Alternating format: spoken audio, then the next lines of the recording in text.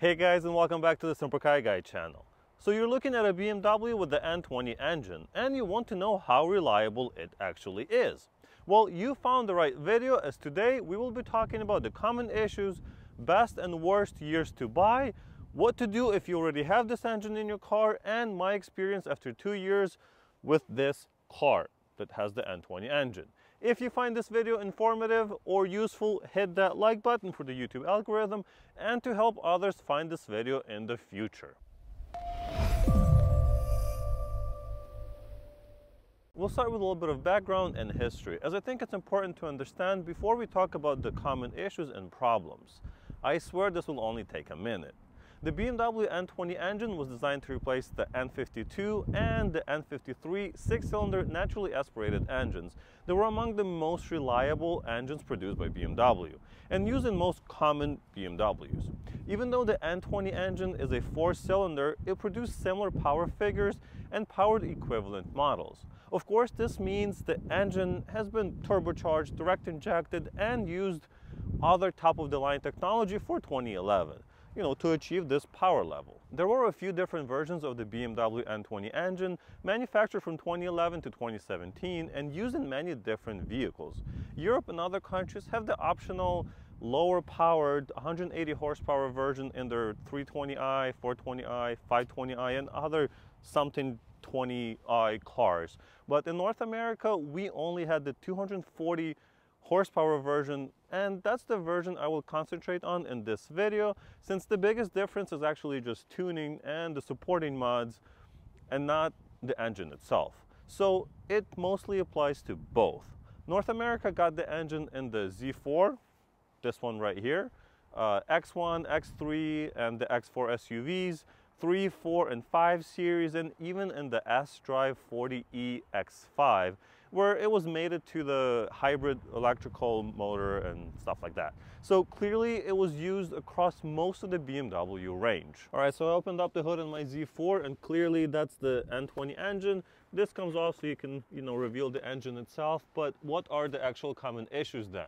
The worst common issue on the BMW N20 engine has to be the timing chain issue that has been discussed at length. So to summarize, BMW has used brittle plastics for the timing chain guides. They get brittle or crack after a certain period of time, causing the timing chain to get loose and eventually skip timing, which eventually destroys the engine. Hopefully it never gets that far and you notice the chain rattle way before that and get the chains replaced. In some cases, the chain tensioner is the culprit behind the chain getting loose and since it's very easy to replace, it could be a good first step before taking the engine apart. And that's located just right there and you don't have to do that much work to get it replaced. The second big issue on the N20 engine is the rod bearing failure. This one is even more serious, but luckily not as common as the chain guide issues. If you start hearing a slapping type noise like this,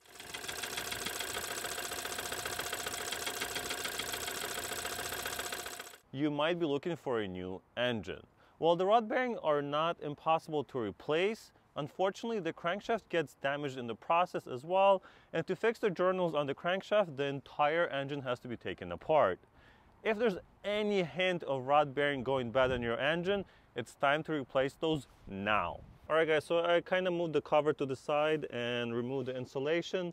And with the scary items out of the way, let's talk about some of the more common issues that you can probably DIY or get done without spending a fortune. Just like with the N52 and N53 engines, the valve cover, which is this right here, is plastic and has a tendency to crack and or leak oil. This wouldn't be a huge problem, but it usually leaks all over the exhaust, which is on that side. The exhaust is on that side, so will leak on the exhaust and of course, you know, on the O2 sensors that are attached to the exhaust manifold, which will damage it in the process. Not to mention the smell of burning oil. Similarly, the oil filter gasket issue has been carried over from the older engines and can leak. That's gonna be this right here. As you can see, there's a gasket right between this part and the engine block right there, and those tend to leak. Luckily, this one is very easy and inexpensive to replace. As you can see, it's just right there. But if it's not replaced in time, it will leak all over the serpentine belt, which is just below it. which can cause some serious engine damage. We're getting closer to the end of the list, but there are a few more items to mention. As we know, this is a turbocharged engine, and as such, it has a wastegate. That's going to be the wastegate actuator that actuates the actual wastegate in the exhaust manifold down there.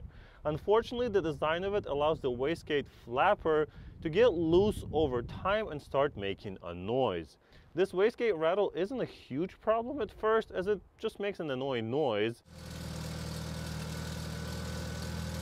especially when you start the car. But the looser it gets, the more of an issue it can be, as it won't hold boost and the great performance of the engine.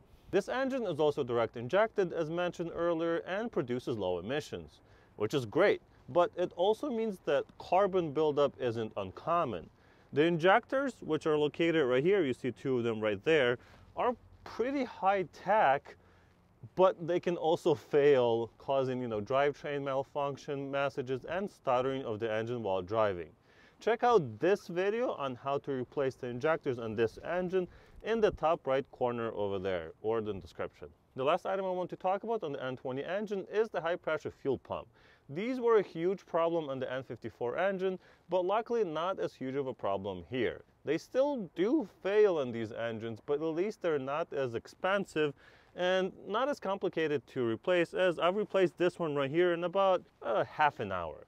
Uh, you can check out the video also below in the description if you'd like to see how it's done. As these engines are becoming older and older, it's also a good idea to check the coolant hoses. So you have big one here and here and some of these return lines.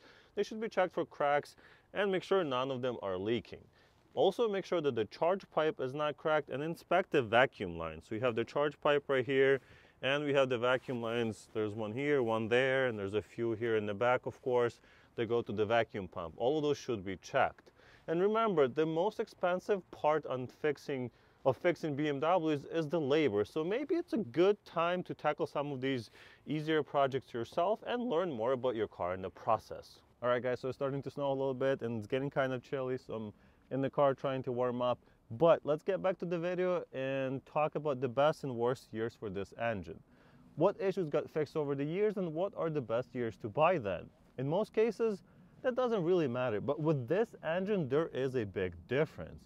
The only N20 engines I would actually recommend would be the ones built in 2015 and later as they have fixed most of the issues discussed here on those models. They improved the timing chain guides, huge, changed the injectors from EU6 to EU5, and improved the overall reliability. If you are considering a BMW with the N20 engine between 2011 and 2014, I would definitely make sure all of the issues we discussed have been taken care of and the maintenance has been on time but especially the timing chain has been replaced. As for my personal experience with the car, I bought this BMW Z4 with a bad engine. But looking at its history, it was maintained by the dealer per the book. And that's why I recommend changing the oil a little bit more often than BMW actually recommends. You can follow my early videos on this car where I go through the process of replacing the timing chain, the high pressure fuel, pu fuel pump, injectors, uh, fixing the wastegate rattle, and eventually tearing apart the broken engine to reveal the damage that was done by the spun rod bearing. However, ever since I replaced uh, the old engine with the 2015 engine in this car, it has been running like a dream for the past two years. All in all, this is not a bad engine, especially after the improvements done for the 2015 and newer models. And the other issues are only becoming common on engines with very high mileage. As an example, this car had over 110,000 miles when I had to replace the engine. A lot of it also has to do with how the engine was taken care of, driven, and of course some luck on how it was built the day at the factory. With any luck, a well taken care of BMW N20 engine should be reliable and also inexpensive to maintain while providing a smooth, enjoyable, and sporty drive. Stay tuned for the reliability video on the N55 and N63 engines in the near future. Thank you so much for watching and I'll see you in the next one.